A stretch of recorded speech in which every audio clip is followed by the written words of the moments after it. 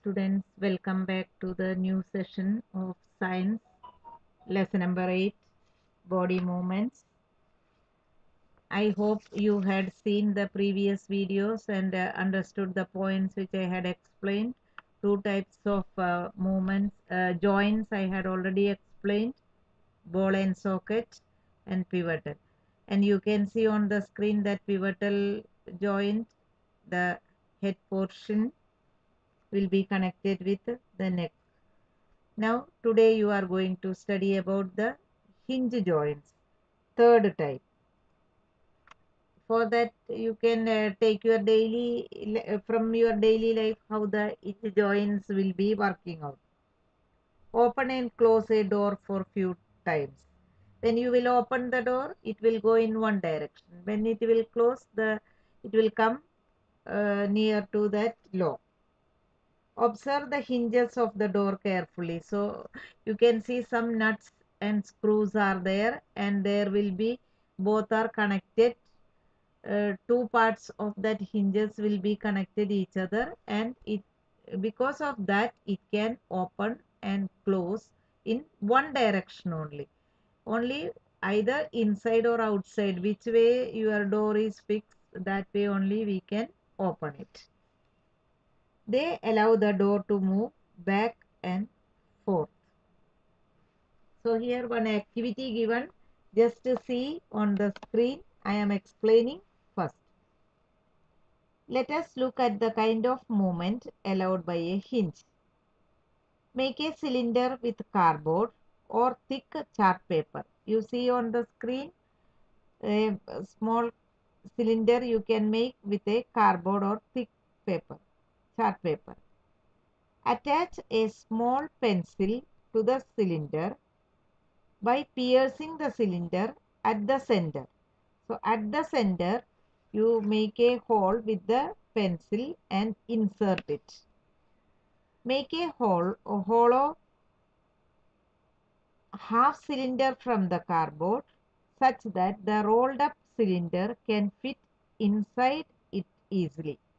So make a hollow half cylinder from the cardboard such that the rolled paper rolled up cylinder can fit inside easily. So see on the screen this you can do it yourself. The hollow half cylinder with the rolled up cylinder sitting inside it allow the movement like a hinge. Here only one direction the uh, rolled paper or the cylinder can move. Try to move the rolled up cylinder. How it how it how does it move? You can see how it is moving. How is this movement different from what we saw with our constructed ball and socket joint? Previous video I had explained that uh, cylinder, a paper cylinder and a ball and bowl. So it there the cylinder as well as the ball is rotating. But here you can see in one direction only the uh, rolled paper or the cylinder can be moved. We saw this kind of movement at the elbow. You can uh, see this type of movement only in our elbows. Elbows and knees you can see that you can move in or you can bend in one direction only. Opposite direction it is not possible. But it illustrates the direction in which a hinge allows movement. So here that activity you had seen here only one direction the movement can be taken place. Same way our hand that uh, elbow can be moved in one side only. The elbow has a hinge joint that allows only a back and forth movement. So either back and forth movement only you can do it. In all direction it cannot move. Now one question arising in your mind that why this uh, hinge joint cannot move in all the directions why can our elbow not move backwards? Automatically the question arising in your mind. Because elbow cannot move backwards because it has a hinge joint which allows only 180 degree movement. That is to and fro movement only. So i hope you can uh, understand what is hinge joints now uh, just open your door and observe and then close. Again open and again close. So you can see how the movement takes place. Up to 180 degree only it can move. It cannot uh, uh, rotate 360 degree. So that is the difference between uh, this uh, ball and socket joint as well as the hinge joint. Hinge joint allows in uh, 180 degree movement only and it will be to and fro. So students next one will be fixed joints fourth type. Some joints between bones in our head are different from those we have discussed so far. We had uh, studied now a ball and socket joint that is on the shoulder, hips, ankles and pivotal joint you had studied the head joint with the neck. And the hinge joint you had studied now elbow or the knee also you can say. Now some other joints which is called fixed joints which will be different from these particular joints which you had studied. And these fixed joints we can see very clearly on our head portion. The bones cannot move at these joints. Such joints are called fixed joints. So some joints between bones in our head are different from those you had studied already. These bones cannot move at these joints. Such joints are called fixed joints when you open your mouth wide you try to open your mouth wide. You can move your lower jaw away from the head isn't it? If you want to uh, pull your lower jaw you can maximum you can widen it. But upper jaw is standing still and the head portion will be in the same position. Only lower jaw you can pull downwards there is a joint between the upper jaw and the rest of the head which is a fixed joint. So upper jaw and the head will be joined together and uh, there will be a joint between the upper jaw and the lower jaw. So lower jaw only can be moved or it is movable joint. Head portion and upper jaw is fused one or fixed one. So we discussed only some of the joints that connects part of the, our body. What gives the different parts of our body their different shapes? If you wanted to make a doll, what you will make first? If you want to make a doll, what is the first thing? First one framework we will do it perhaps a framework to give the doll shape before making its outer structure. So first we will take a framework whether it is a small one or big one etc. Then after that the outer structure we will make. All the bones in our body also form a framework to give a shape to our body. So what is the main function of our bones? To give a framework and to give a shape to the particular body. You can see some uh, are very short, some are very long, etc. So how it will be like that? Because their bones size will be short and big.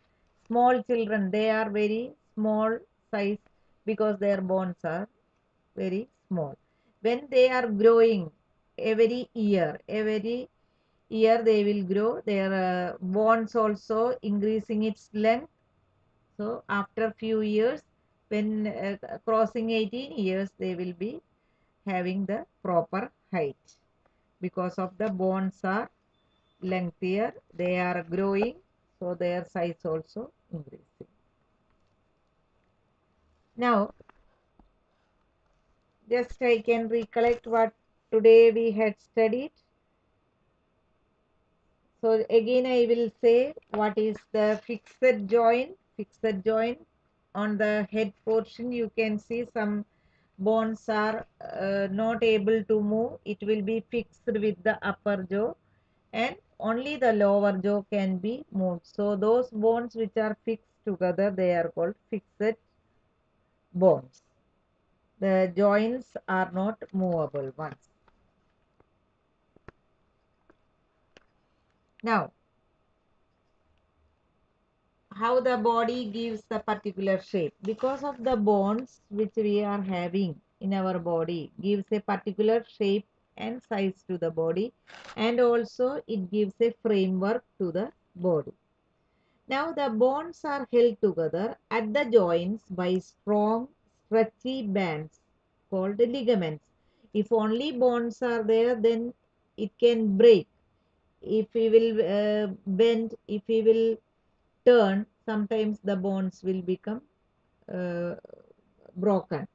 But it does not happen because the bones are held together at the joints by strong stretchy bands called ligaments. There are many joints in our body. The joints are of three types depending on the types of the movement. They are immovable, slightly movable and freely movable. You had studied all the three. That is uh, immovable ones. Just now I told that head bones and upper jaw. Slightly movable one side. You can say that example elbow. Then freely movable. You can see the shoulder etc. Now the ends of the bones are covered with a soft substance which is called cartilage. By the what is the use of this cartilage? It acts as a shock absorber. If you hit your bone, uh, hand or the leg somewhere, slight pain it will come, but it will not get injured. It will not break suddenly because the cartilage is there. It absorbs the uh, friction or it reduces the friction between the bones and it also absorbs the shock. Cartilage is also present in some parts of the body that are not as hard as bones. For example, if you touch your ear, upper part of the ear, there are slight bones are there, their maximum cartilages are there. So that is why it is soft bone and it is covered with cartilage. So cartilage is uh, seen at the end of the bones which is soft and act as a shock absorber and reduces the friction between the bones. It is also present in some parts of the body that are not hard as bones.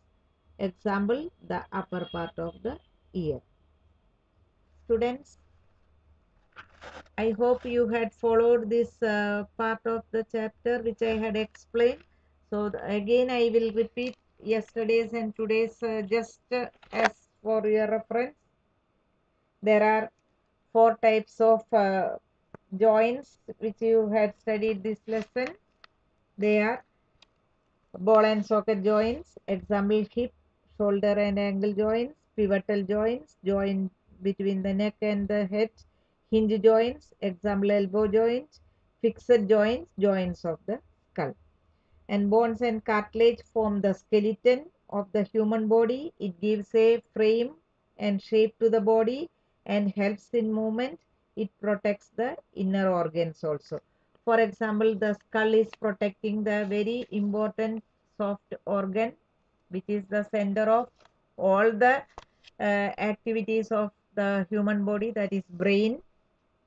Then it also protects the heart and lungs which is uh, situated in the rib cage that you are going to study. And the skeleton comprises of bones, joints and cartilages. The bones are moved by alternate contraction and relaxation of two sets of muscles. So because of uh, muscles are there, it is stretchable ones. So that is why the bones can move freely. So I hope today you had followed the chapter which I had explained. If any doubt is there, listen the video again. So you will get after listening the video, read the chapter also which part I had explained. So you will get more clear. So today I am going to wind up the chapter. Remaining part of the chapter I will explain in the next class. Till then, take care and do well. Goodbye.